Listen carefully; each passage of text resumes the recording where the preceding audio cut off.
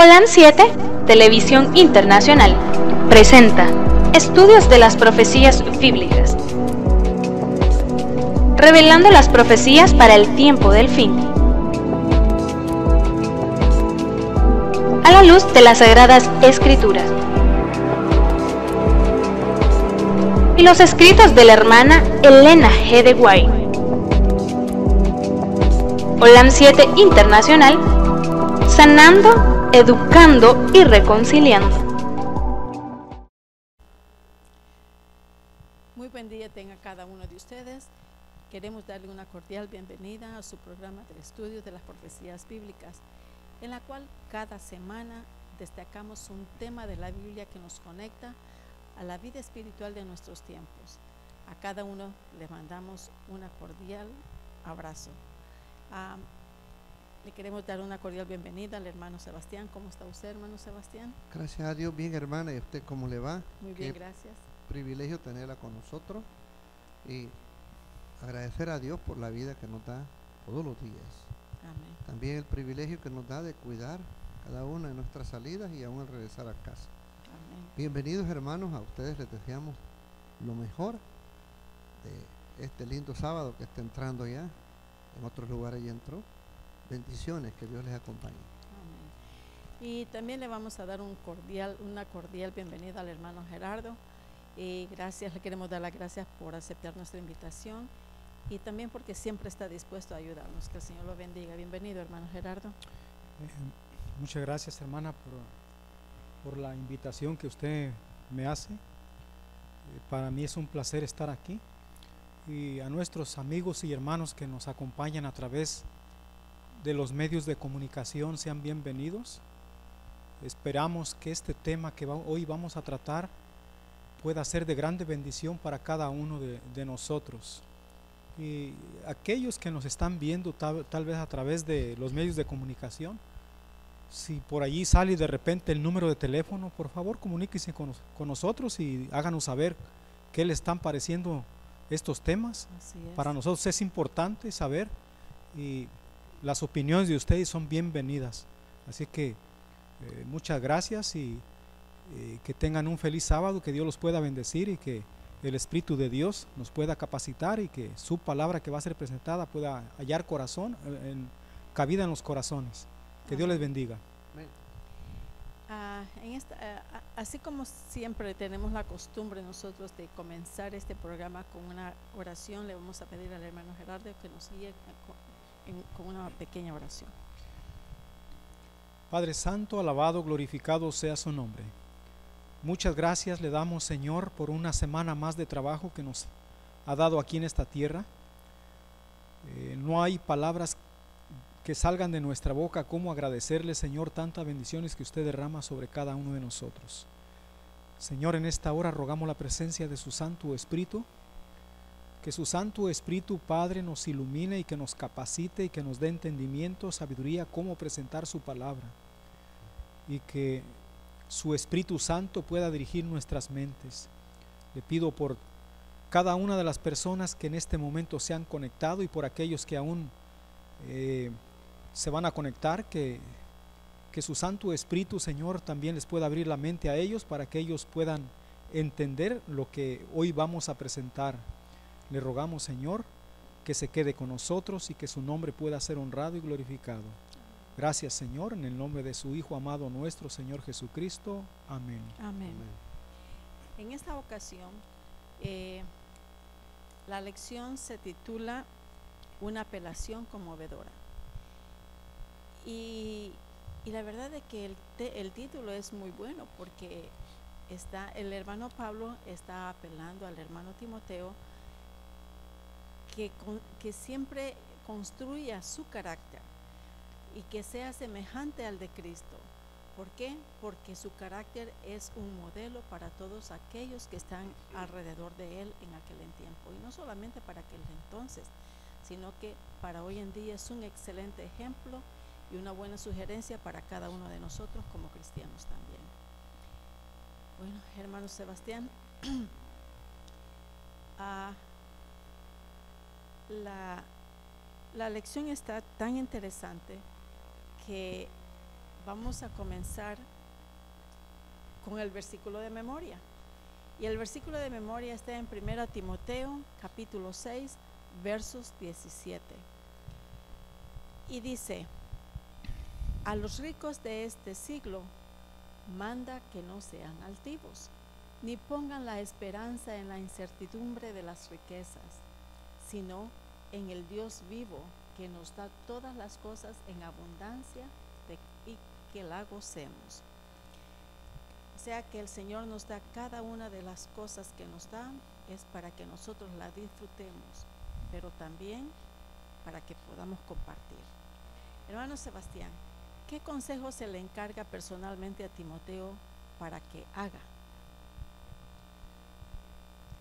Al fiel cooperador del apóstol Pablo, este joven Timoteo, siendo que él ya había dado testimonio de que era un hombre de Dios, y eso se registra ya en el capítulo 16 del libro de los Hechos, y versículo 1 y 2 por ahí. Cuando el apóstol Pablo andaba reclutando colaboradores para llevar a cabo el Evangelio, conforme a él se le había pedido también. Teníamos un grupo de otros apóstoles también, ¿no? Después llegó a Derbe y a Listra, y aquí estaba allí un discípulo llamado Timoteo, hijo de una mujer judía fiel, más de padres griegos, versículo 2. De este daban buen testimonio los hermanos que estaban en Listra y en Iconio. Imagínense ustedes la calidad de ministro al cual el apóstol Pablo se estaba dirigiendo. Pero nunca es tarde de un, de un apóstol bastante mayor y acreditado por la experiencia del apóstol Pablo, siendo que en primera de Timoteo capítulo 6, versículos 9 y 10, se había estado considerando una situación que se prestaba para ese tiempo.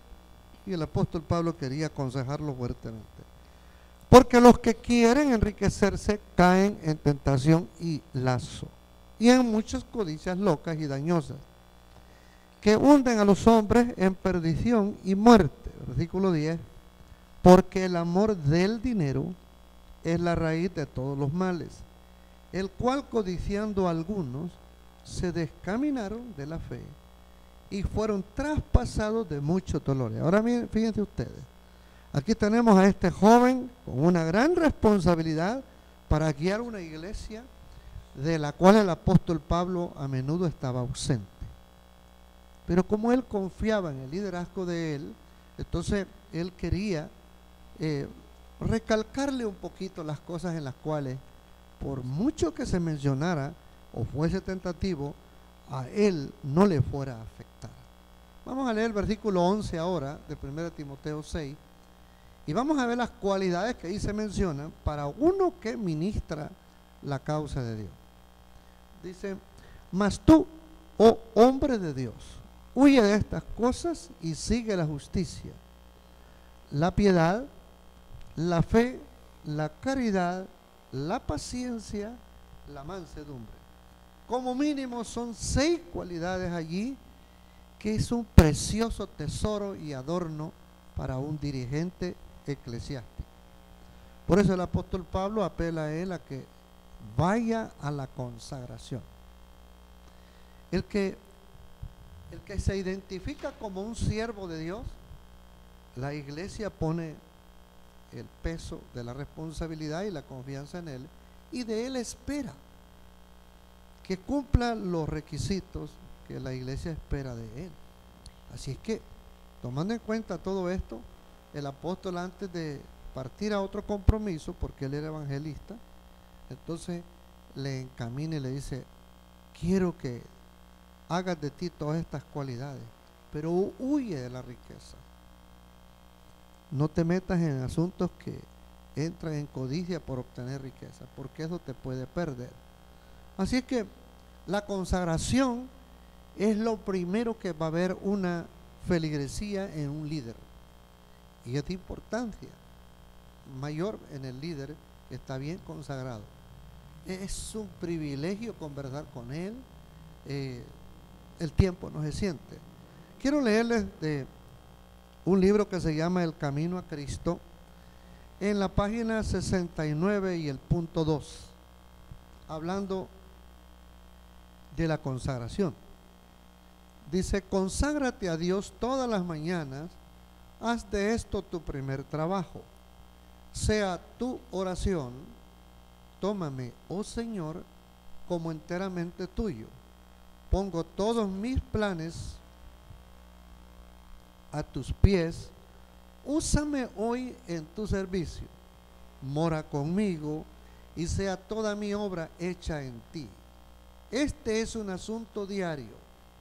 Cada mañana conságrate a Dios por ese día, somete todos tus planes a Él para ponerlos en práctica y o abandonarlos, según te lo indicare su providencia. Podrás así poner cada día tu vida en las manos de Dios y ella será cada vez más semejante a la de Cristo. Estas seis cualidades que menciona el versículo 6, esas cualidades las tenía el gran maestro, el Señor Jesús. Por eso es que a Cristo Jesús, aún los líderes que no le tenían muy buena gana a él, en el corazón de ellos latía un anhelo, un deseo de volverlo a escuchar. Entre esos estuvo Nicodemo también. Él dijo en una ocasión, sabemos que tú eres enviado de Dios. Sabemos que las cosas que tú haces no las puede hacer ni un hombre si no le acompañara el Espíritu Divino. Y así podríamos hablar mucho más, pero quiero dar la oportunidad a la hermana que Hermano, siga. hermano Gerardo, ¿algún comentario? Em, bueno, estamos hablando acerca de las riquezas. Em, ¿Será que las riquezas son malas? No. No son No, malas, no, lo que pasa nada. es de que la persona, en lugar de confiar más en el, en el dueño de las riquezas, confían más en sus riquezas. Aquí hay una historia aquí de- en, el, en San Mateo capítulo 19, el ver- del versículo 16 al 24. Dice la historia así. Dice, entonces vino uno y le dijo, maestro, bueno, ¿qué bien haré para tener la vida eterna? Él le dijo, ¿por qué me llamas bueno? Ningún hay bueno sino uno, Dios. Mas si quieres entrar en la, vir- en la vida, guarda los mandamientos. Y le dijo, ¿cuáles? Jesús le dijo, no matarás, no adulterarás, no, no hurtarás, no darás falso testimonio, honra a tu padre y a tu madre, y amarás a tu prójimo como a ti mismo. Y el joven le dijo, todo esto lo he guardado desde mi juventud, ¿qué más me falta? Jesús le dijo, si quieres ser perfecto, anda, vende todo lo que tienes y dalo a los pobres, y tendrás tesoros en el cielo, y ven y sígueme. Y oyendo el joven estas palabras se fue triste porque tenía muchas posesiones. Aquí miramos cómo en algunas personas el, el- tener mucho, muchas posesiones o mucho dinero les hace daño.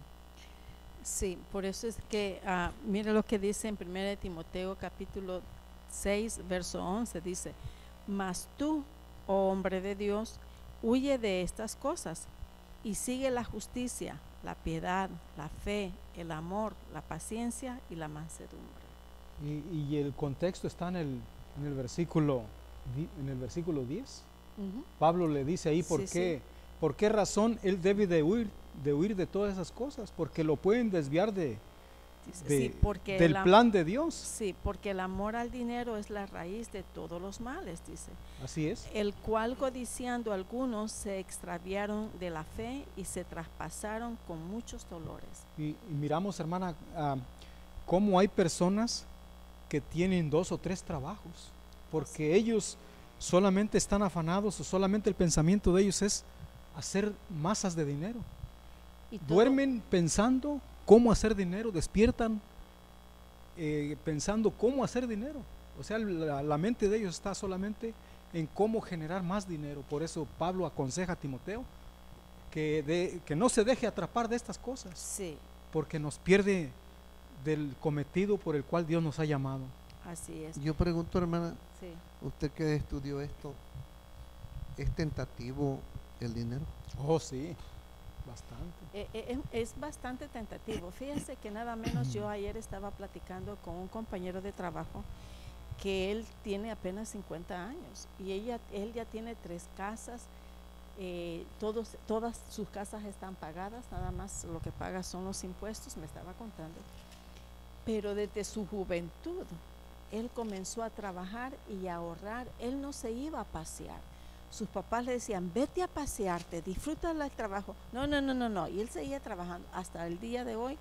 Dice que él en su juventud tenía tres trabajos, ahora solo tiene una, porque él piensa que ahora ya tiene suficiente dinero para retirarse. Ahora mi pregunta es esta, ¿Lo piensa hacer? tiene 50 años, todavía le falta para retirarse. El problema es que a ver si llega, porque nosotros podemos acumular dinero. El problema es que si a lo mejor para este tiempo de, la, de retiro estemos nosotros vivos aún. No, y, y es que hay consejos sabios de los inversionistas, de los que estudian economía.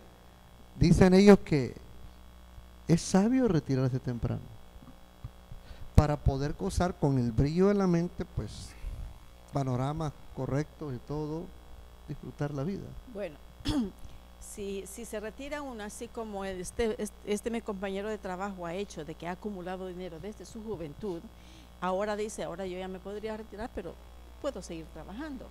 Entonces, si él ya está preparado, si la persona está preparada, bien se puede, bien, bien, bien se puede eh, la persona este, retirar. El problema es que personas como yo, que viven de lo que al día, de lo que se gana, y estamos esperanzados a que retirarnos para que eh, nos poder sobrevivir con lo que hemos ganado del retiro, ¿no? Entonces ahí está el problema, que aquí hay una ley de que si no llegamos, si nosotros no nos retiramos a la fecha, a la edad indicada por la, por el gobierno, entonces no nos dan completo el retiro No, nos quitan como el 40 o 20% o 30% creo yo. ¿Y qué vamos a hacer con ese poquito dinero si cada vez, cada año que pasa, todas las cosas van aumentando? ¿Por qué hay, tantas, hay tantos ancianos que, que mendigan un pan? ¿Por qué un- tantos ancianos que están a expensas que además de que con lo que reciben pagan casas, pero ya no les alcanza para lo demás, que es el sustento? Me iba a decir algo, hermano este, Gerardo.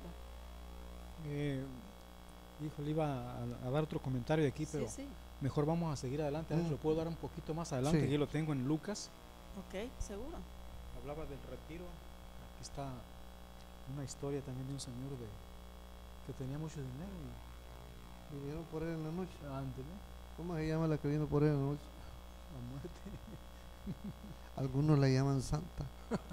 Pero ¿qué tiene de Ah, santa? acérquese el micrófono. Bueno, acordémonos que este, este era un, un, un rico, ¿verdad? Y joven. Cuando le, cuando, cuando le preguntó a, a- a Jesús que qué podría hacer para salvar su vida, pues, era algo tan sencillo y sin embargo él no lo quiso hacer. Ese es el tipo de, de, de- de consejo que le da el hermano Pablo a, a los ricos, pero to- todavía es la verdad que eso no es, no es el tema, pero dígame hermano. Y, y, hermana, este, a él le pudo más las posesiones que él tenía que lo que Jesús le estaba ofreciendo. Jesús le estaba ofreciendo la vida eterna y él pensó más en lo que él poseía que en lo que. Jesús le ofreció. Les haré una pregunta a ustedes dos. Como yo les digo que el dinero es tentativo, no importa la masa de dinero que usted vea o le pongan ahí, ¿usted cambiaría el conocimiento y el temor de Dios que usted tiene y que yo tengo por una masa de dinero? ¿Qué Es piensa? que, eh, hermano, Espere, espere, no vaya muy rápido. es- ¿Me Su está opinión, a a los dos le pregunto, ¿quién toma la palabra primero? ¿Rápido? Pues él estaba diciendo. Dele. eh, es que, hermano, el dinero es tentativo, usted lo acaba de decir. Por eso le dije. Y, y más si lo miramos en, en masa. Imagínese, eh, nosotros que vivimos al día y de repente miramos 3, 4 millones de dólares eh, que podemos disponer de ellos. Imagínese quién, a, a nosotros estamos a- a- apuntando a, esta, a este joven rico. Pero, ¿qué tal que si viniera también una cosa de, de esa a la vida de nosotros? ¿Qué haríamos? Buena pregunta. Sí, no, es para comentar. ¿Eh? Bueno, Porque está en Yo- juego la salvación. Sí. déjeme decirle algo. Yo voy a contestar como un- alguien más me dijo hace poco. Me dijo, hermana, este, este, Disfruta la vida". anímese. Y le digo yo, yo no soy de las personas muy ambiciosas. Ajá. Yo no soy de las personas muy ambiciosas. Sí. Eh, yo soy bien conformista y even hasta mi esposo me ha dicho, contigo voy a la quiebra. Porque si yo tengo pan y comida, con eso yo estoy bien contenta. Y un vestido que ponerme. Yo contenta. Pero como nunca he visto una cantidad de dinero bastante, pues quién sabe. Ya otra pregunta entonces. Si a usted se le, se le da, usted anda tranquila ahorita, ¿no? Vino y estacionó su carrito por ahí todo y anda bien tranquila. ¿Qué le parece si del grosor de esta, de esta Biblia se le dan dos paquetes de a puro de a 100 a usted en su mano? Su estado de ánimo, ¿cómo comienza a salir de aquí para allá? ¿Se siente segura? Quién sabe, yo nunca he visto una cantidad de dinero así, no sé cómo actuaría. No o, sé. o sentiría que ya ten- debería tener usted el guardaespaldas que la cuide. Son las cosas que se vienen a la cabeza. Vamos adelante. ¿Quién sabe? Eso no sé, nunca he tenido dinero, tanto dinero, nunca lo he visto, así es que no sé, hermano, ¿para, para qué le digo que sí, si no? Sí. Eh, ok, ahora, hermano Gerardo, en lugar de la lucha de los codiciosos, ¿qué lucha debía pelear Timoteo? Bueno, vamos a vamos a mirar allí en Primera de Timoteo, capítulo 6. Vamos a ver el versículo 11, 12. 12. ujú. Sí. El 12. Es la última parte del 11, ¿no? No, el 12. sí. Oh, ok. Entonces es la tercera pregunta, ¿no? Ok. Bueno, entonces vamos a, a- a- a mirar el Ahí está el versículo 12. versículo 12 y vamos a ver qué dice la palabra de Dios.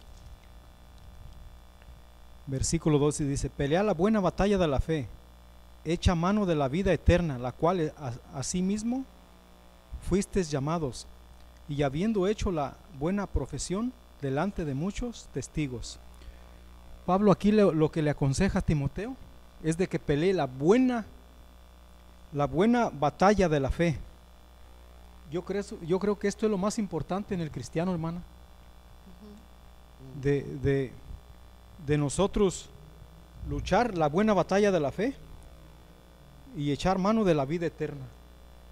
Yo creo que no hay otra cosa más importante para todo cristiano tener estas cualidades como las tenía Timoteo, porque este era, aquí Pablo está hablando de, de- de Timoteo y le, está- le- pues está aconsejando a Timoteo, pero ahora el- estos consejos ya no son para Timoteo, son para nosotros. Para nosotros, así es. ¿verdad? Esto, eh, yo no sé si el hermano quiere Hermano, eh, eh, hermano eh, Sebastián. comentar algo.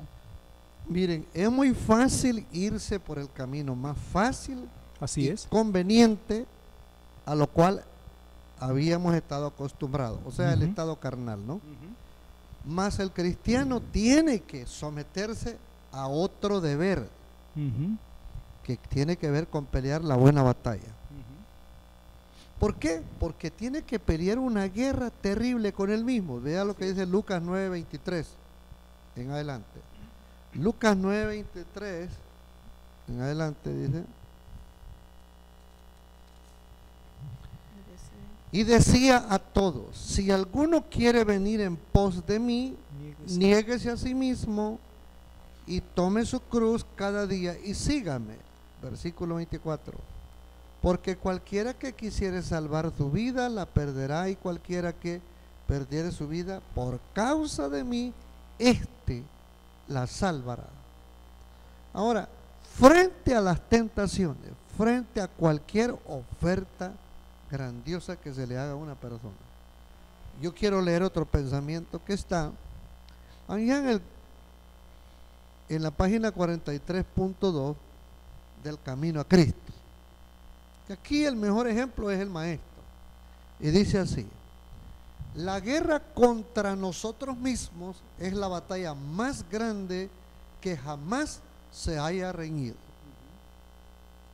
El rendirse a sí mismo, entregando todo a la voluntad de Dios, requiere una lucha. Más para que el alma sea renovada en santidad, debe someterse antes a Dios. Así es que esa pelea, pelea la buena batalla. No es tanto la- el exterior, sino es lo que me pide el cuerpo a mí. ¿eh? Entonces, por eso Cristo dijo todo, si alguno quiere venir en pos de mí, téngalo bien presente. Niéguese. sí. Niéguese a sí mismo, o sea, castigue el hombre interior y deje, eh, como quien dice, ¿no? Pausar al hombre antiguo y dejar que comience a desarrollarse un nuevo. Bueno, ah, ante todas las religiones rivales del mundo, dice el cristiano, defiende el Evangelio en dos formas, dice, mediante una vida cristiana consecuente y con una presentación lógica y sólida de la verdad cristiana. O sea que en este caso sería,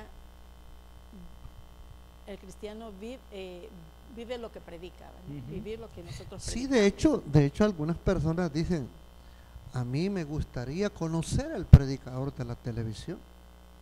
Yo quisiera, quisiera convivir con él un rato. ¿Por qué? Porque se cree que en la televisión estamos comprometidos a, a hacer y decir las cosas justas y correctamente.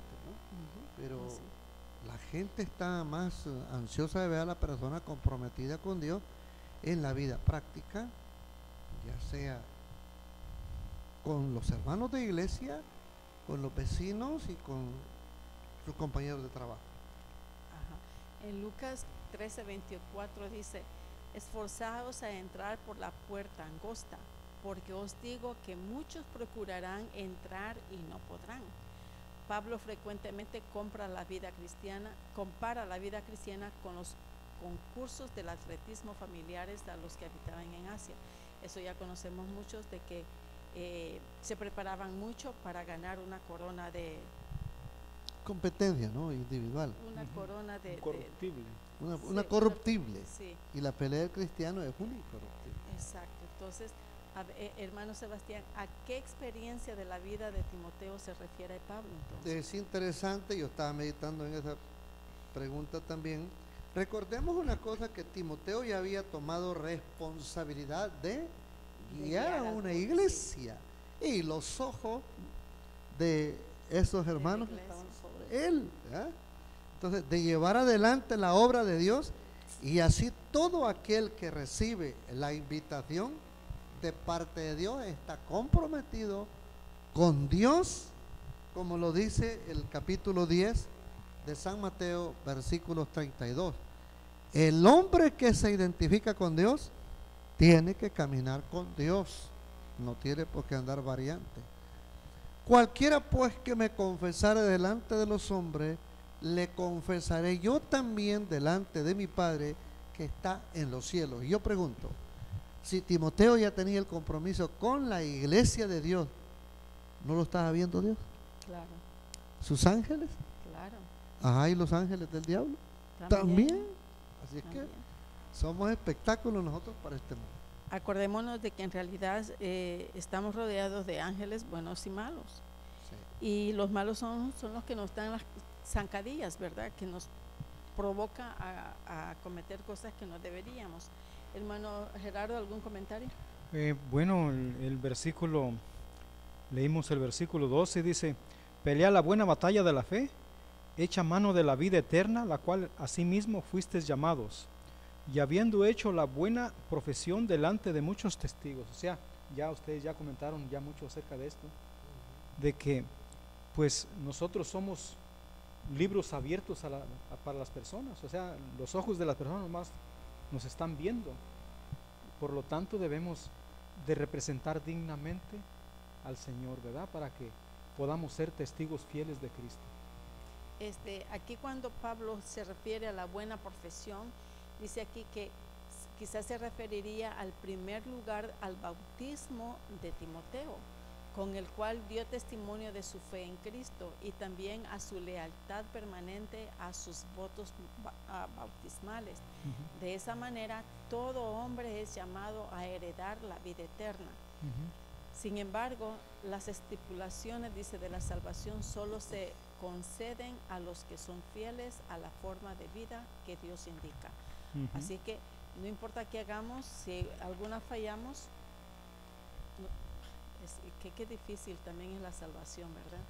No, usted dijo que todos somos invitados a heredar la, la vida la eterna. vida eterna. Ujú. Y yo digo una cosa, ¿no? Que un fide- fideicomicio que le llaman, ¿no? Eh, aquí le llaman living trust. Una persona no tiene potestad de eso si no fallece los que le heredan a él. Entonces a veces la gente, condición carnal, humana, estamos apurados de todo que ese día llegue. ¿verdad?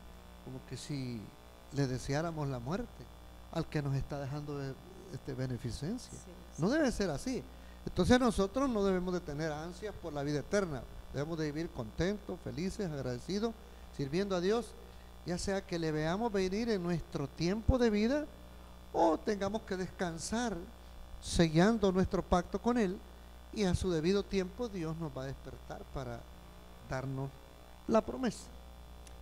Eh, eh, hermano Gerardo, en presencia de quienes es encarecido Timoteo, ¿qué y qué referencia es hecha respecto a Dios, al Padre y a Jesucristo? La pregunta 5. Bueno, pues leamos la palabra de Dios ahí en, los- en el versículo eh, 13 de- del capítulo 6 de 1 de Timoteo. Dice, la palabra de Dios dice, te mando delante de Dios que da vida a todas las cosas y de Jesucristo que dio testimonio de, de la buena profesión delante de Poncio Pilato. Dice aquí, dice Pablo, yo más, más bien miro como una orden aquí. Dice, te mando delante de Dios que da vida a todas las cosas y de Jesucristo que dio testimonio de la buena profesión delante de Poncio Pilato. Y creo que eh, ya casi hablamos de esto en el versículo 12. Hablamos un poquito de esto, de, de cómo nosotros fuimos llamados y cómo debemos de andar en los caminos de Dios. Porque allí en San Juan, capítulo 14, 6, dice, dice la palabra de Dios, yo soy el camino, yo soy la verdad y yo soy la vida. Entonces, si nosotros no, no, no representamos a Dios dignamente, eh, yo creo que mejor pues dejemos las- la palabra de Dios a un lado. ¿De ¿Verdad? qué piensa, hermano Sebastián? Bueno, el versículo 13 testifica quién es el autor de todo, ¿no? Así es, Y quién hace las cosas posibles. así es. Es- Timoteo 6:13 así es. da un reflejo de dónde viene el vigor.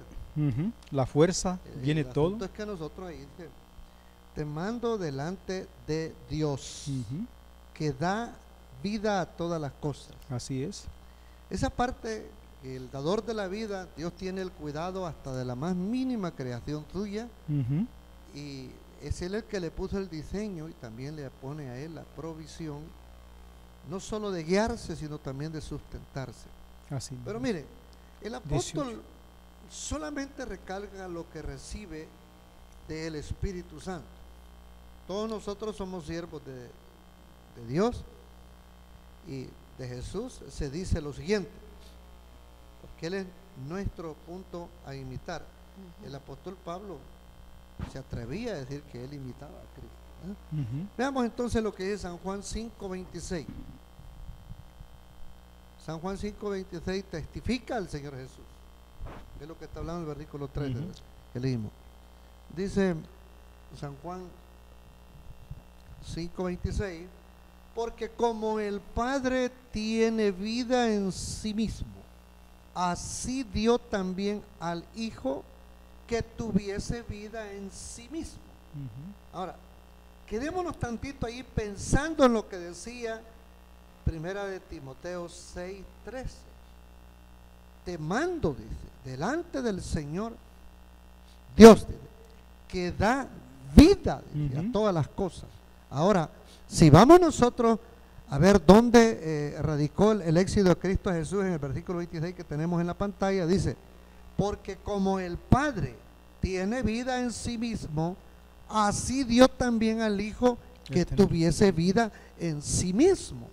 En otras palabras, para poder vencer, para poder trillar al diablo en este mundo, en tu territorio, el ser humano tiene que ser un instrumento nada más y permitirle a Dios que Dios programe en él y que yo esté dispuesto a dejarme llevar por Dios. Veamos lo que dice el versículo 30 del mismo capítulo 5 de San Juan. En el versículo 30, viene dando otra pista más bonita, mire. Decía Cristo, ya hablando de la naturaleza que recibía de Dios, yo, perdón, dice, no puedo yo de mí mismo hacer nada. Como oigo, juzgo, y mi juicio es justo, porque no busco mi voluntad, mas la voluntad del que me envió, del Padre. Ya sabemos nosotros que el que puede hacer las cosas posibles es el Padre. Así es. Cristo Jesús no podía echar arma de, de poder, porque Cristo Jesús era siervo, era mensajero de justicia en este mundo, que por mucho tiempo no había podido el ser humano reflejarla como demandaba la santa ley. Ahora, entonces, viendo todo ese cuadro, era Dios el que estaba obrando en la humanidad de Cristo Jesús. Él hacía, o sea, el Padre hacía todo en Jesús. Jesús solo atendía el llamado, el pedido de Dios. Nosotros somos instrumentos para llevar el Evangelio. ¿Y dónde está nosotros el problema? Es que nosotros queremos nosotros poner nuestro granito de arena, como queriendo decir, aquí yo le voy a poner también mi toque para completarlo. Y no es así. El, que hace todas las cosas es Dios. Veamos lo que dice el versículo 19 del mismo capítulo 5 de San Juan. Estos tres versículos dan una gran cátedra a la humanidad. Respondió entonces Jesús y díjole, de cierto, de cierto digo, no puede el Hijo hacer nada de sí mismo, sino lo que viere hacer al Padre, porque todo lo que él, lo que él hace, esto también hace el Hijo juntamente. Una de las cosas que a mí me ha dado resultado es que yo, cuando me toca entrenar a personas en el trabajo, y yo le digo, ¿usted quiere entrenarse para tener éxito o para ser medio, medio, medio? Me dice, no, yo quiero aprender bien. ¿Usted quisiera reproducirse lo que yo soy? ¿Usted se fija cómo los clientes se dirigen a mí con toda seguridad? Dice, sí. Entonces póngame cuidado cinco minutos. Solo va a ver lo que yo hago. No se desespere, no agarre ni un instrumento, porque no le, no le doy permiso. Yo lo voy a hacer. Y se lo hago tres veces, sin precipitación. Y le digo, aquí está la continuidad del trabajo, quiero que usted lo vaya haciendo con la amabilidad que usted tiene de cooperar. Y yo no necesito estarlo bien. Hágalo tranquilamente. Después me dicen las personas, usted le está dedicando demasiado tiempo a ese trabajador. Claro, ya le vio lo cómo lo hace. Dice, sí, lo hace bien. Ah, Está obedeciendo. Así se debe de producir, perdón, reproducir las personas que tienen maestría. Ah, cuando, un, cuando un trabajador es bien entrenado, hace un buen trabajo. Eso lo tengo yo por, Sí, por así es. experiencia. sí. Así es. Ah, her- hermano ah, Gerardo, ah, Sebastián, ¿qué conversación sucedió entre Jesús y Pilato? Es bastante triste esta situación. Hemos oído en el pasado algún, algún sinnúmero de predicadores que han hablado sobre este episodio. ¿no? hasta cierto punto es embarazoso, es triste, es sentimental, también, ¿no? Vamos a ver entonces, en el versículo que tenemos allí, 33. Perdón, ah, tenemos nosotros el- la cita San Juan 18. San Juan 18, 33 en adelante. Vamos a leer hasta el 37.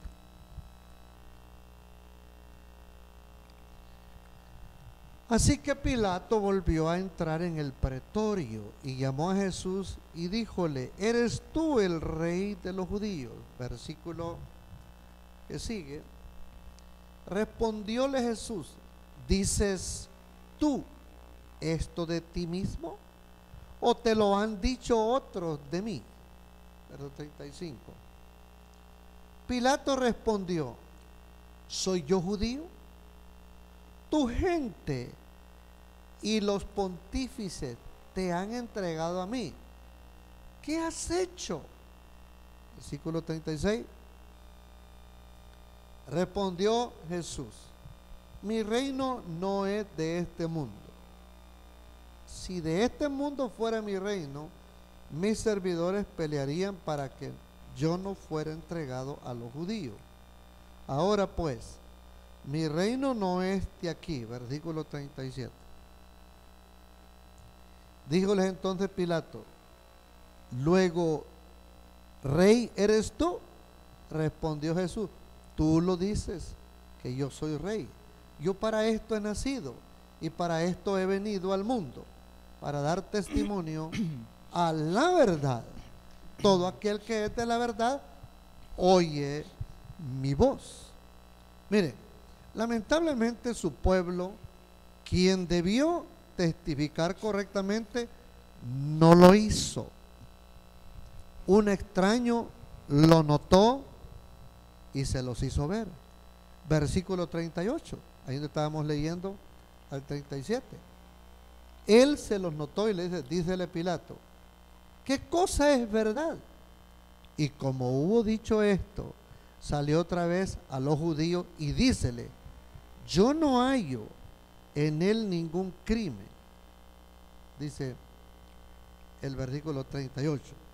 Así es que nosotros podemos ver ahora en Mateo 27, versículo 18, nos va a corroborar lo que buscamos decir de parte de Pilato a los judíos que habían buscado entrampar a Jesús y hallar lo culpable. Porque sabía que por envidia le habían entregado. Qué triste que yo predicando de aquí y cuando me llegara la prueba dura y difícil, tanto que habré yo dicho que iba a ser fiel a la hora que viniera mi maestro y salir con un ridículo. Aquí el, el que, me- el que se estaría desmoronando por sí mismo era, era yo. Entonces aquí tenemos a un, em- a un, sí, un dirigente pues de imperio, ¿no? Eh, en este caso Pilato, estaba siendo una persona internacional que no era de la nación. Solo estaba dando seguimiento a las órdenes de un, de un imperio que estaba conquistando a otro, ¿no? Entonces, él observa la escena y de Cristo Jesús que testificaba de la verdad por donde él lo preguntara. Dijo, este hombre verdad, es verdadero, este hombre es real. Pero le hace una pregunta, quema ropa y da la media vuelta y no recibe la respuesta. Nosotros sabemos bien que, que por inter- intervención de su mujer en este juicio, no solo que preguntó por la verdad a él, sino que también a la hora de clausurar el caso, la mujer de Pilato le dijo, no tengas nada que ver en condenar a ese inocente. Porque yo no he dormido toda la noche sintiendo la voz de un espíritu que habla en mí para que yo sea tu intermediario. ¿Puedo, ¿Puedo preguntarle algo, hermano? Sí. ¿Por qué, por qué el Señor se se acercó a la mujer de Pilato y no a Pilato. Es interesante todo porque delante de un hombre importante en la fe o en, un criterio político como él estaba, estos son hombres cargados de compromisos, de obligaciones y todo. Y en lo más íntimo del descanso, a veces cuando hay unos momentos de receso que no puede dormir la persona, Dios utiliza mejor a una persona inmediata y cercana, porque una, una esposa tiene ese privilegio. Y Dios mejor se dirigió por medio de la mujer. Ese toque maestro que Dios le puso a la mujer, qué sé yo, eso que ni podemos revelarlo nosotros, pero lo tiene la mujer. Dios se lo dio. Y, y- y ojalá fuéramos más cuidadosos para poner cuidado a esas mínimas intervenciones que a veces le permitimos, bueno, en un caso de estos hombres que son ocupados, a una compañera. Fíjese que aquí en, la, en la- en el verso en el verso 34 del Juan 18 dice, Jesús le respondió, ¿dices tú esto por ti mismo o te lo han dicho otros de mí? ¿Por qué respondió así el Señor Jesús? Bueno, en realidad porque recuerde que el imperio romano estaba eh, teniendo su propio apogeo en ese tiempo y ellos manejaban la condición del poder. Ellos no iban a aceptar tener, tener o escuchar un rival que se estuviera postulando por allí y congregando gente para que simpatizaran con él. Entonces, de una vez por todas, le ponemos este mal informe a este hombre, inmediatamente lo va a desaparecer.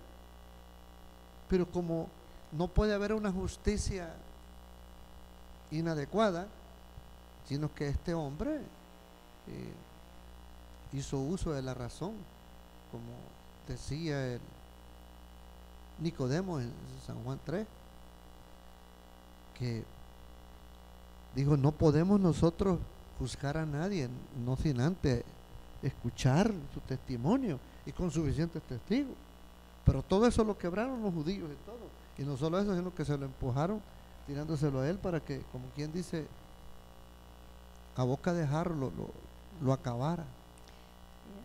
Hermano Gerardo, Eh, bueno, eh, pues qué podría comentar cuando el hermano ya explicó bien aquí los dos últimos versículos, ¿verdad? Eh, yo pienso que Pilato tenía el poder para librarlo porque al final del versículo 38 dice que él no, no halló nada en Jesús. Pero ¿por qué sería que no, al, no hallar nada en él, por qué sería que no, no lo libró? ¿Qué fue lo que falló en él, en Pilato? ¿Qué lo inmutó? Porque el hombre tenía la vida eterna ya en las manos. Claro, El ladrón de la cruz, yo diría que tiene un cierto parecido con este hombre. así es. Porque el poder que tenía este hombre y todo. Y si él hubiera pedido otro proceso hasta que se le comprobara, él no hubiera, ah, no se hubiera tupido de la mente.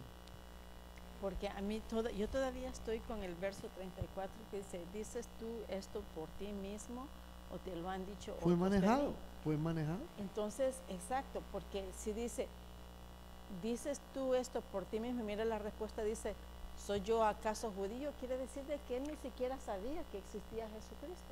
Jesús. No.